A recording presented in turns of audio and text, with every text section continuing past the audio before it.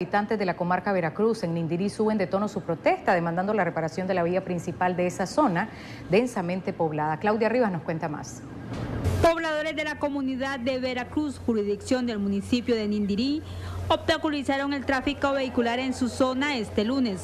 Su principal demanda es la reparación de las calles. La gente que va para aquel lado de la calle principal no quieren entrar porque no sirve la calle principal y tenemos 3, 4 años de estar esperando. Nosotros le decimos, Nindirí está bien bonito.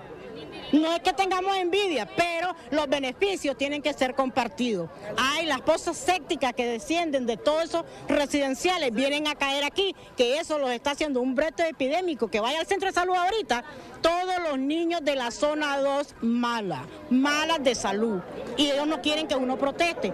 De acuerdo a los habitantes de esta comarca, el mal estado de las calles les afecta el servicio de transporte. Vamos a continuar el tiempo que sea necesario. Aquí la mayoría de los, buses están deteriorados por lo malo del, camino. Pues si usted se va a cada cuadra hay un bauche ¿verdad? Ya parecen lagunas, ya eso no son bauches, son lagunas las que hay aquí, huecos. Entonces nosotros, esa es la problemática que tenemos con el transporte. Los buceros ya no quieren entrar, ya no quieren hacer su recorrido porque se les está dañando ese medio a ellos. Si son las mototaxis, no vienen a este lugar por ese mismo problema. La comunidad de Veracruz está ubicada en el kilómetro 14, carretera a Masaya. Con imágenes de Julio Real, Claudia Rivas, Acción 10.